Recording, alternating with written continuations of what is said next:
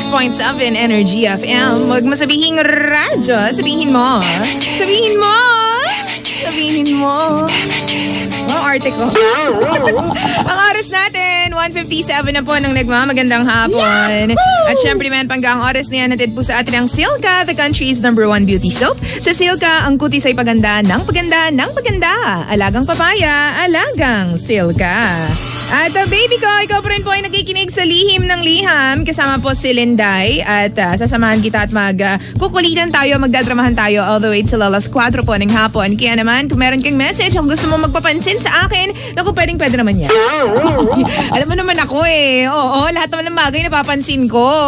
Napapansin ko nga wala nangyayari kahit mahal na mahal ko siya eh. Ito talaga ang buhay. You can't please everyone. Sabi nga nila. Sabi ng matatanda. Ilang taon na kaya yung mga matatandang yun, no? Di ba?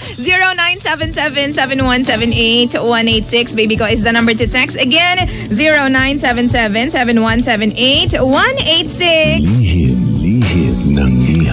At uh, ito, Lindsay, super number one kayo sa lahat ng FM station sa Mega Manila. Pabati naman po ako sa special friend ko na si Christina Elise na binaha kagabi dyan po sa Quezon Province. Thank you so much, Edward po ng San Juan City, Manila. God bless you. Uy, thank you. Sana nga, sana nga, sana nga. Hindi totoo yan. Pinagdarasal namin yan. Pero alam naman namin na sa puso't isipan ninyo, number one talaga kami. Woo! Afternoon, Lindsay. Emma po ito ng Vietnam na laging nakatutok sa lihim ng liham. Magandang hapon po sa inyong lahat na nakikinig po sa atin all the way from uh, Vietnam. Hi and hello sa lahat po ng mga nakikinig po sa atin overseas. Magandang hapon po sa inyong lahat. Well, dito po sa Pilipinas ay hapon. Ewan ko lang po dyan sa inyo kasi iba-iba naman po talaga ang time zones, ba? So, mag-ingat po kayo dyan and uh, hope na i-enjoy nyo po ang ating programa ngayon pong hapon na ito. And uh, magandang hapon, Lindsay. Babati naman sa aking anak na nagpa-practice mag-drawing para sa poster making nila sa school, si John Ryan Intertas. Hi, kamusta ka, Jern? Uy, nanalo na kaya ako ng ganyan. Oo, dati, nung ako ay bata pa. Sa library pa nga ako gumawa niyan eh. O, naalala ko nun, hindi ko pinapansin yung mga kasama ko, yung mga contestants na iba. Hindi ko talaga sila pinapansin kasi alam ko sa sarili kong mananalo ako. Bala kayo dyan, ganon. O, bakit? Ito ang ending, nanalo okay. Oh, gusto mo naman yon. Promise. May ganyan kasi akong effect minsan eh.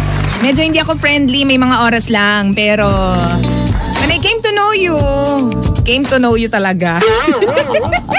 Pag ikaw ay nakilala ko na, if I come to know you, pangga, yan, eh, magiging okay na ang lahat. Ay, nako, kanina ko pa tinatawagan to si Jimbo at saka to si Sheena. Oo, si Kuya Chico. Ay, naku, sigurado ako si Kuya Chico nang gugulo dyan, kaya hindi sumasagot tong mga to. Mm, ayan ha. Pero uh, mamaya po, eh, matitignan po natin pangga kung ano po nangyayari dyan sa Evergadesco Commonwealth Center para sa Oplan Dikit, the Energy FM Stick on Promo. But, in the meantime, pangga, halika na muna at magdramahan muna tayo, pangga. Dito lang yan sa Lihim ng Liham ng number 1, 06.7 Energy FM. Huwag mo sabihin radyo, sabihin mo. Ng liham, ng liham, ng liham, ng liham.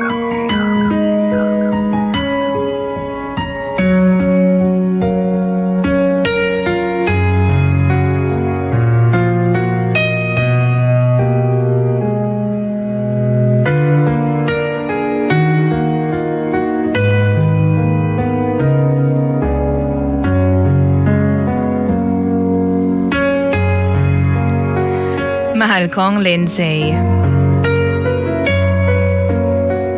Lindsay! Ako nga pala si Mitch. Meron po akong karelasyon na lalaki at walong taon na po kaming nagsasama. Itago na lang natin siya sa pangalang Jack Jack.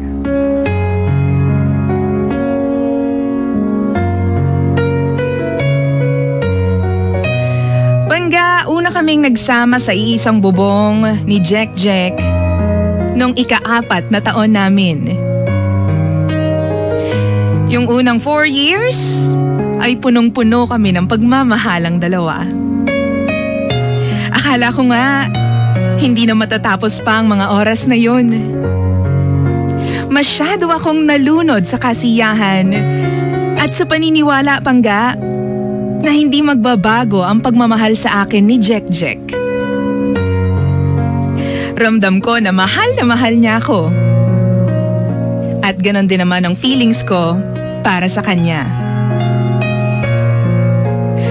Lindsay, walang kapantay. Abot hanggang langit. O man pakinggan, pero yun talaga ang totoo. Apat na taon na ako lang at siya. Wala nang iba.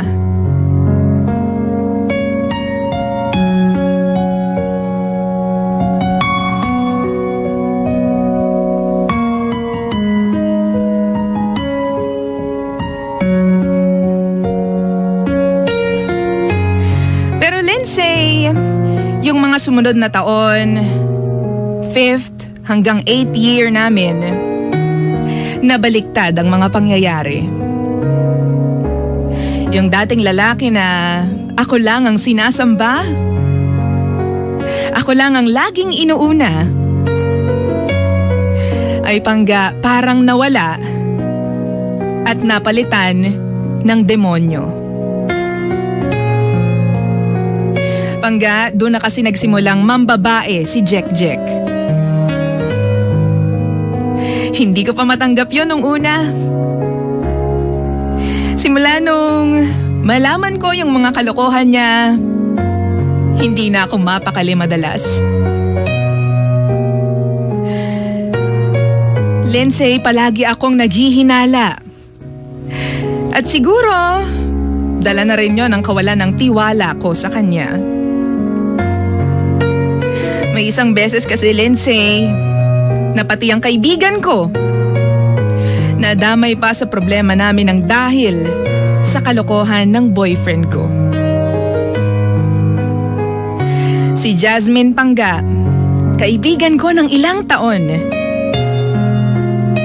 Pinakilala ko siya sa jowa ko dahil tinuturing ko siyang best friend ko. Kaya malapit ang puso ko kay Jasmine. Pero Lindsay, hindi ko akalain na ahas pala ang kaibigan ko. Hindi ko alam na habang dinadala ko siya sa bahay namin, sa bahay namin ni Jack Jack, ay madalas na pala silang magkatawagan at palagi rin silang nagte-text. In short, meron pala silang relasyon. Relasyon na silang dalawa lang ang nakakaalam. Nagkakamabutihan pala silang dalawa.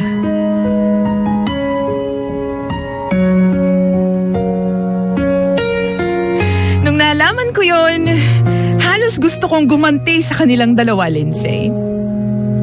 Dahil sa sakit na binigay nila sa akin.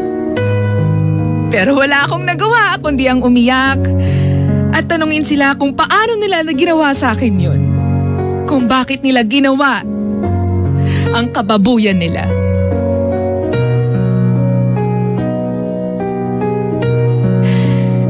Pero Lindsay, mahina ako. Kaya naman damang-dama ko rin yung sakit na ginawa nila sa akin.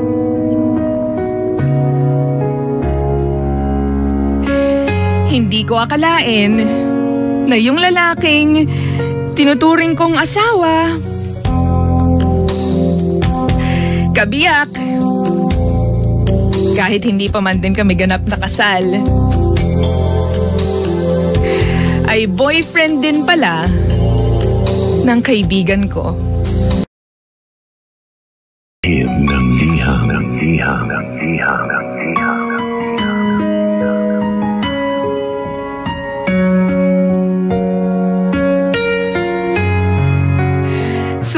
Ako, Lindsay, matapos ko malaman yung panloloko sa akin ng boyfriend ko. Nag-move on ako at pinilit ko siyang kalimutan. Lindsay, naghanap ako ng ibang lalaking mamahalin. At muling tumibok ang puso ko nang makilala ko itong lalaki na manager sa Mama Nora dyan sa Makati.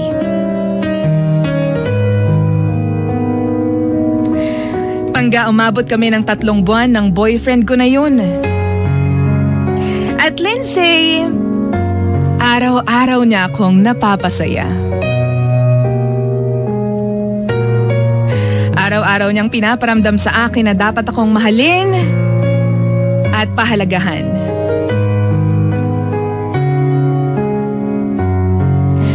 Pero sabi nga nila, Pangga, some good things never last.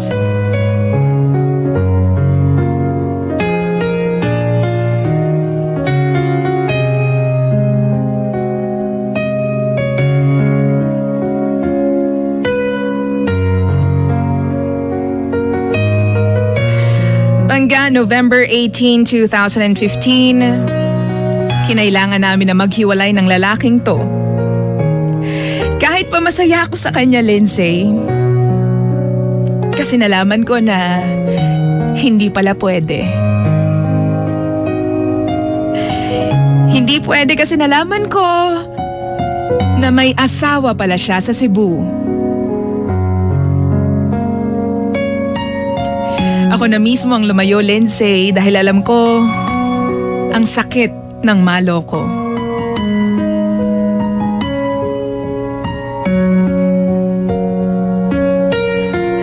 Sunod-sunod ang lungkot na naramdaman ko nun, Lindsay.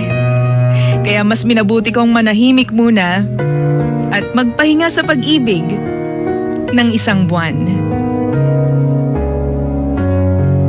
Kinaya ko naman, Lindsay. Pero para sa akin, parang iba pa rin kapag meron akong masasandalan. Matatawag na mahal. Miss Lindsay, na-miss ko agad ang merong boyfriend.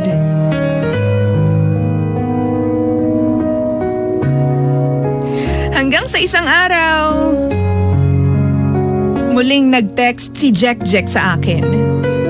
Yung ex ko. Hindi ko alam pero para ba akong mabubuwang? Kasi nakita ko ulit yung pangalan niya sa cellphone ko.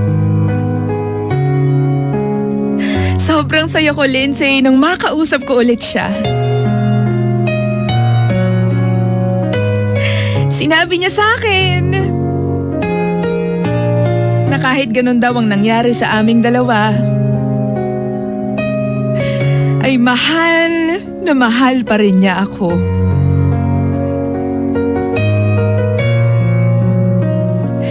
Kaya Lindsay, kahit pa masakit sa loob ko ang naging panloloko niya sa akin, pati na ng kaibigan ko, hindi ko maide-deny na siya pa rin ang palaging una sa puso ko.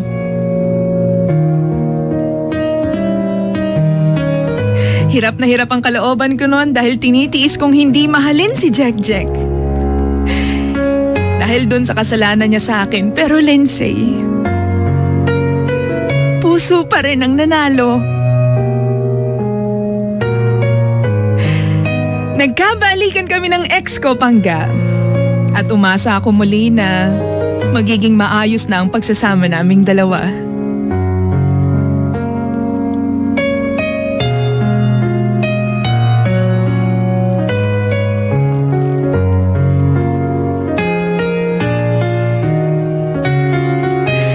Pero heto na naman. Nalaman ko na may iba pa ring nilalandi ang boyfriend ko. Nakipaghiwalay ulit ako sa kanya, Lindsay, dahil nalaman ko na mas malala ang ginagawa nila ngayon.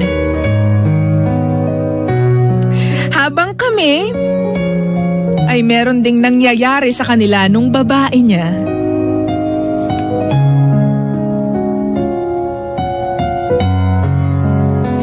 Pero alam mo, sa kabila ng lahat ng ito,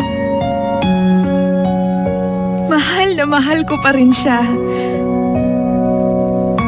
At nagpapakatanga ako ng dahil sa pag-ibig na to.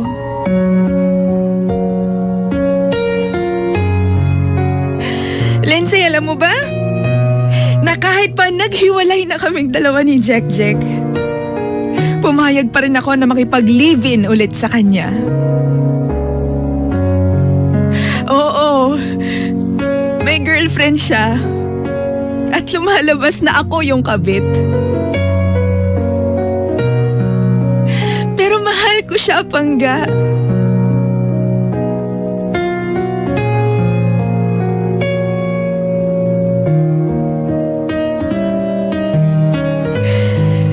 Lindsay sa umaga. Akin si Jack Jack. Pero pagsapit ng gabi, nandun siya sa girlfriend niya. Ang sakit-sakit, Lindsay. Kasi alam kong binababoy ko yung sarili ko nang dahil sa pagmamahal ko sa kanya.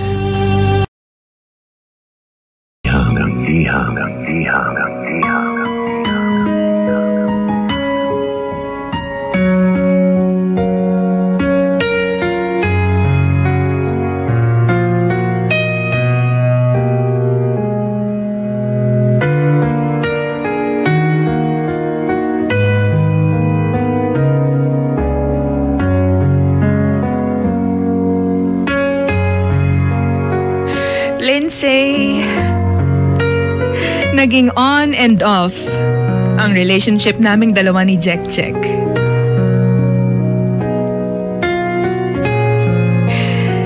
At Lindsay, nakipaghiwalay ulit ako sa kanya nung umabot kami ng limang buwan. Kasi hindi ko na kinakaya yung nangyayari.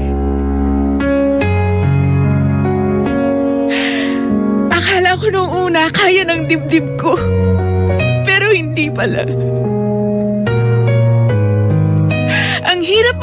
Meron kang kahati sa pagmamahal ng taong ng taong sinasamba mo.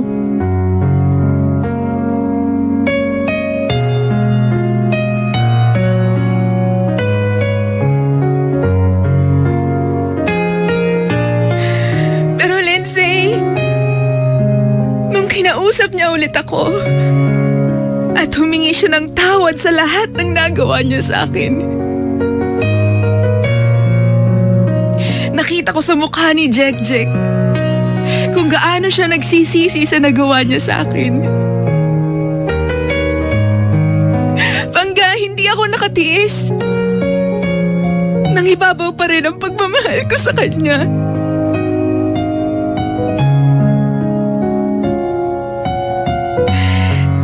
Kaya Lindsay, buong puso kong niyakap ang pagbabalik ni Jack Jack sa akin. Oo, Lindsay. Nagkabalikan ulit kaming dalawa at this time, binigyan kami ng Diyos ng... ng isang anak. Tandaan na talagang nagmamahalan kaming dalawa.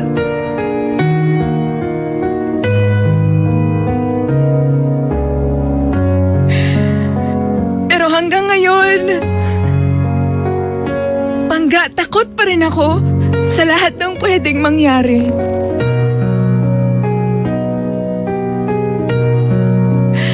Hindi ko alam kung kung uulitin niya ba na lokohin ulit ako. Lalo na pangga at hindi ko sila kasama ngayon. Nandito kasi ako sa Singapore ngayon, Lindsay, at nagtatrabaho ako para sa kanila.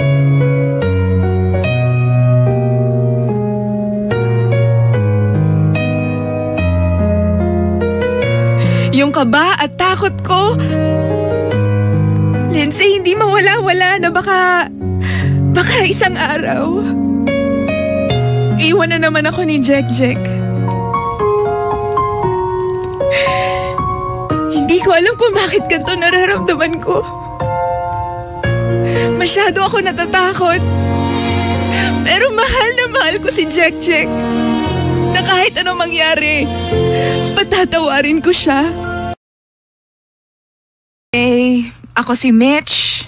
At ito ang lihim ng aking liham. Lihim, lihim ng liham, ng liham. Number one, 06.7 Energy FM. Huwag mo sabihin radyo, sabihin mo. Sabihin mo. Sabihin mo. Sorry na. Oy, baby ko, may share ako sa'yo ah, bago ang lahat. East Multi Builders and Traders is looking for a male civil engineer, 25 to 55 years old with at least 3 years of experience and expert in AutoCAD. For inquiries, look for Mr. Jeff De Guzman at 0917-917-5825 and send your resume to jjdeguzman12671 at yahoo.com.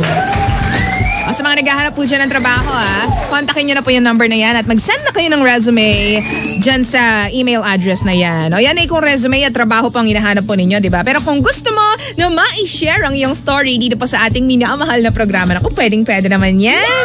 Hindi naman ako mahirap kausap, di ba, baby ko? Siyempre, man, isend mo na ang mga lihim mo na may liham. Ano daw yon baby ko? Sorry na. sa lihim ng liham 1067 at yahoo.com. Again, lihim ng liham 1067 at yahoo.com. Lihim, lihim ng liham. Ayan, sige, mag-send kayo ng kung ano-ano. Wag lang kayong magsisend ng mga hindi kaaya-ayang ano ha. Alam mo na yung sabihin kasi one time medyo may ano eh. May bastos kasi. Ko ano-ano sinend niya doon. Ibablock ko talaga kayo. Ay naku, sabihin nyo ng mataray ako. Pero, mm, nako, ayoko ng mga ganyan. Oh, let's be ano, let's be nice, panggaha sa isa't isa. Wala pong bastusan, okay? Para po healthy ang lahat. Ay, wag mong hintayin na sabihin ko pa yung pangalan mo on air. Para masaya. Baby ko, halika na. Samahan mo ako at ah, halika na. Tulungan na po natin yung ating pangga na si Mitch. Oy, pangga, narinig mo ba yung kanyang story kanina? As in, alam mo, nung nababasa ko yung message, nung nabasa ko yung message the first time, feeling ko, sabi ko, ang daming pain na laman nung message. Alam mo kung bakit? Or nung letter rather. Kasi yung letter ay medyo hindi siya Tagalog sinulat at ah, medyo may pagkabisaya yata. So medyo nahirapan ako ng bagya. Lihim ng liham. But still the same, na-deliver ko pa rin naman at nakuha ko pa rin yung juice na gusto niya sabihin pangga ha. Punong-puno siya ng pain, yung letter na yon. At ah, sabi ko nga, dapat i-message ko si Ate Mitch ng tingin kung ah, anong dapat niyang gawin kung ako yun nandun sa ganong sitwasyon. Pero gusto ko muna marinig niya yung sasabihin ninyong lahat, baby. Okay. So baby ko si Mitch kasi ay may ah, boyfriend for 8 years now. At ah, sa ngayon po ay meron silang isang anak ni Jack Jack. Pero bago ang lahat, bago sila nagkaanak, eh, isang katutak na panloloko baby ko ang naganap sa pagitan nilang dalawa. Well, si Jack Jack lang naman na may kasalanan. Ito naman si Mitch pa ulit, ulit, ulit, ulit, ulit na pinapatawad yung lalaking talagang mahal niya. Minsan nakakajirits na talaga, di ba? Najiri, alam ko, najirits ka dun sa letter natin, pero ganun talaga ang buhay. Kapag talaga mahal mo eh. Aminin mo naman, once in your life, meron kang minahal. At ah, yung lalaki na yon o yung babae na yon, eh, masasabi mong ah, naging dahilan ng pagiging tanga mo sa buhay na ito. Ba? Aminin mo yan. Hindi naman maging hypocrite at sinabi mo, Naku ah, hindi ako nagiging ganyan ah. Tsaka never ako nagpakatanganan dahil sa babae o never ako nagpakatanganan dahil sa lalaki. O hindi ikaw na. hindi ko na perfect, ikaw na matalino. Pero dumadating talaga yung moment na yan. Hindi mo alam kung anong ginagawa mo. Hindi mo rin alam kung bakit. Alam mo yun, nasasaktan ka na pero paulit-ulit mo siyang pinapatawad para lang ma-save yung relationship. Ma-save yung kung ano man na meron kayong dalawa, di ba? Pero minsan kasi kailangan natin mag-snap back pangga sa reality na tayo ay tao lamang at meron tayong, alam mo yun, dapat panindigan na, anong tawag doon? Yung imahe. Diba? At ah, more often than not, ay, mm, social, di ba? Mas ah, binibigyan natin pansin yung nararamdaman natin, 'di ba? Kaysa doon sa imahe na dapat natin protektahan. Pero kasi 'yun ang ano eh, 'yun ang ah, pag-ibig eh. Minsan marami kang magagawa na hindi mo naman gusto pero dahil sa 'yun ang sinasabi ng puso mo, mas pinapakinggan mo 'yon at 'yun ang nangyayari. Mas sinusunod mo yung feeling ng pagiging in love kaysa sa pag-iisip, 'di ba? Tao lang tayo. Alam mo, carry lang 'yan. Ang sabi po ng mga texters natin 0977717818 yan po yung ating text line ha. Again, 0977717818 baby ko. Okay, sabi dito, masasabi ko lang po sa sender Lindsay, tanga siya. Kasi kahit paulit-ulit siyang niloloko ng boyfriend niya, paulit-ulit niya rin pinapatawad. Kaya umaabuso yung boyfriend mo. Oo, alam natin, te, na mahal na mahal mo siya, pero ikaw lang naman na nagmamahal, di ba? Kinakawawa mo lang ang sarili mo, te. Marami pa namang iba dyan. Noon nga, nandito ka, nagawa niyang manloko, ngayon pa kaya na nasa ibang bansa ka? Salamat, Lindsay. Torogi po ito ng Tondo. Salamat po ay Energy You. Thank you. Thank you so much. Maraming salamat. Oy, may point ha, si Torogi. Ba't ba ganyan yung pangalan mo? ng Tondo. Para kay Ate Mitch, hindi pa, hindi na pagmamahal yan. Nagpapakatanga ka na. Dapat mahalin mo muna ang sarili mo. Salamat po at binabati ko mga taga D-Mark ng Warehouse 1 and 2. Especially kay Mother Beth. O, di ba? Yan, walang pangalan. Nasabi naman itong isa pang gaha, Linda po ng Mandaluyong. Hello, Lindsay. Ang masasabi ko lang po kay Mitch, Iwan niya na si Jack Jack kasi lagi lang naman siya niloloko. Lalo na ngayon na nasa malayo pa siya nagtatrabaho. Kaya naman niya buha, ah, kaya naman niya buhayin yung anak niya nang siya lang. Kaya lagi na lang siya nasasaktan. May panahon na pa para makahanap ka ng matinong lalaki. O, di ba? Yan po sabi ni Ate Linda ng Mandaluyong. Sabi naman po nitong isa medyo mahaba-haba pero basahin pa rin natin kasi may ano eh, may sense naman siya. Ang sabi po, para sa letter sender, hi nako. Well, Lindsay, batiin na lang muna kita. Masaya ako naka, nakikinig sa'yo araw-araw. More rare pa sa Energy FM. Pagpatuloy niyo po sana magaganda yung programa. Si Chapo ito from Tagig. At para sa letter sender natin, value yourself, please. You deserve to be loved. Ano man ang gawin mo, ikaw at ikaw pa rin ang makakapagtama ng ginagawa mo. It's never too late to make actions. But please, value yourself. Mahirap kalaban ng pag-ibig. We tend to forgive, lalo na pag mahal natin. But that's not the point. It's better na mahalin mo siya sa malayo. Ipagdasal mo na okay siya and help him or help him to be a better person. Because true love is something that can be an outlet for someone to be better. Respect yourself. Salamat, Pangga. Ganun ba yon? Ang true love ay outlet para maging mabuting tao ka. Siguro ito ay isang tool. Di ba? Kung hindi ako, well, kanya-kanya naman yan, di ba? Yun lang para sa akin. Isa, ito isang tool para maging mabuting tao ang isang tao. Malamang nga, di ba? Oo. Well, bangga, sige mamaya basa pa po tayo ng comments natin. Again, ang text line po, baka gusto mo makishare ng iyong pananaw dito. Kung ikaw ay paulit-ulit na niloloko po ng iyong jowa, partner, boyfriend, pangga, patatawarin mo po ba siya? At bibigyan mo pa hanggang ilang beses na forgiveness ang may bibigay mo sa kanya, pangga. Halika na't makishare ka sa ating discussion for today, 0977-717-8186 is the number to text. In the meantime, pangga, mag-sound trip muna tayo na nagagandahan. Wow, Kuya Chico. Dito po sa Energy FM, let me give you this song by uh, the Kapamilya Stars, Star ng Pasko. Yes, go, go, go! Aha! Uy, na-miss mo to. Sikat na sikat to dahil kay... Bro! Bro! Sorry na, bro! Patawarin niyo kami, bro! Yan. Baby ko, naniniwala ka ba sa kasabihan na sa buhay, walang bagay na sigurado dahil bawat minuto pwedeng magbago. Uh, tingnan natin ha. Tingnan natin kung talaga totoo yung mga pinagsasasabi na yan ni ano.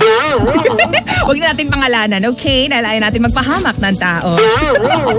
Baby ka, syempre naman, Offland Dikit 2017, The Energy FM Stick on Promo ay talaga naman pong umaariba pa rin dyan po sa Evergadesco Commonwealth Center dahil, uh, oh, dami nagpapadikit dyan ha. Ang sabi nga ni Kuya Chico, 44,000 chenes. Siya lang ang may kaya nun. Kaya sige, halika na at uh, humingi tayo ng update at uh, kamustahin natin sila kung talagang buhay na buhay pa ba sila dyan. Nasa kabilang linya, si Sheena. Hello! Hello, Linda! Hey! Nako, nandito nga tayo live na live sa Ever the Best Commonwealth Center para sa ating Offline Digi 2017. Nako, ang nangyayari ngayon, may sariling mall show talaga si Papa Jackson. Ay, ganon! ang haba ng pila, Beth. Oh. Naka talaga nga ng mga 400,000 million na ano, papadikit, di ba? Doon dami na nagpapadikit dito, Pangga. Kaya naman humabol ka na. Dahil makakuha ka ng gift pack mula yan sa Energy FM and Buzz Cafe. Nako, syempre, Open Digi 2017, the Energy FM Second promo is in partnership with the Tesco Commonwealth Center. At syempre, hati dito sa atin ang Buzz Cafe. Tikman ang sarap na inyong hanap. At maraming salamat din sa No Sweat by J. Thomas Solutions. Ako mga Pangga, eto na ha, yung mga nakapag-claim na, maraming salamat po and congratulations. Eto mga hindi pa nakakapag-claim, gumora na kayo dito. Nandito kami sa may entrance ng mall, Pangga ha. Dito na po kami sa tapat, may nakita po kayo maraming tao at may dalawang maingay, yun na po yun. Mag-claim na kayo dahil hanggang alas 4 lang po kami ng hapon nandito. Kaya naman, congratulations kay J.R. Bulaban. Sumunod naman si Dario Lagunzael and kay Anthony Adaro. Dante Acuña, Mark Lucido. Inuulit natin si J.R. Bulaban, Dario Lagunzael, Anthony Adaro, Dante Acuña, and Mark Lucido. Gora na kayo panggaha hanggang alas 4 lamang po tayo ng hapon dito po sa Ever Commonwealth Center. At syempre, yan po update dito yan sa Auckland DC 2017 and mamaya magbibigay tayo ng final update. Final, final, final. Okay, back to you, Linda. Thank you so much, Sheena! O yan ha, alam mo na yan. Bukod po sa mga pumipila pong mga sasakyan, eh, may sarili pong buhay, may sariling mundo yung mga nagpapapictures kay Papa Jackson. Nagpapapictures? Sorry na. alam mo naman, ganyan yata talaga ang effect kapag mag-isa ka lang dito. Hindi kasi sanay ako na ang dami-daming tao dito sa opisina namin, di ba? Oo. Maliban na lang kapag Saturday. Kasi pag Saturday, wala talaga, wala talaga tao, be. Ganyan. At mamaya, syempre naman, oh, wag na wag ninyong kakalimutan. Gabi na, umaga na, kasama po ang nagdadalawang si Papa Jackson and of course, si Kuya Chico. Mamaya babalik pa po ako para po magbasa ng ilang comments po natin tungkol dito sa problema ni Ate Mitch. Si Mitch po dito po kasi may problema siya dito sa lihim ng liham at mamaya-maya ibabasahin po natin yan. Ito ha, medyo bigyan natin ng konting flavor. Ang sabi naman dito, pangga, masasabi ko lang po sa letter sender po natin, Lindsay, tanga siya kasi kahit paulit-ulit na siya niloloko ng boyfriend niya, paulit po, uh, paulit-ulit niya rin uh, pinapatawad. Eh, ganun talaga, di ba, kapag nagmamahal tayo. Ang sabi naman itong isa, baby ko, ha? Ito, sabi po nitong uh, keme natin dito, isang uh, panggapo natin dito. Lindsay, para sa letter sender natin, sana matauhan ka na. Mahirap magpakatanga. Walang hospital dyan, Lindsay. Salamat, narinig ko na naman ng napakaganda mong boses. Si Arsenio po ito ng Antipolo. Oy, thank you. Lindsay, gigil ako sa sender. Once is enough. Pag inulit niyang lokohin ka, doon ka mag-isip. Oh, ah, kapag uh, inulit-ulit niyang panloloko, doon ka na daw mag-isip. It's better to let him go. Huwag tangate. Di ka, di na uso ngayon ng martir, di ba? Isip din. Love yourself first. This is Mitch from Angono, Rizal. O katukayo. Yan ha. Ah, sige, mamaya pa marami pa tayong uh, comments na babasahin. And of course, magbibigay ng final update. Malay mo, magbigay ng final update na si Papa Jackson. Wish naman natin. Dito lang yan sa lihim ng liham, baby ko, ng 106.7 Energy FM. Huwag mo sabihin radyo, sabihin mo. Tutok lang, giving you this song from Juris, A Love to Last a Lifetime.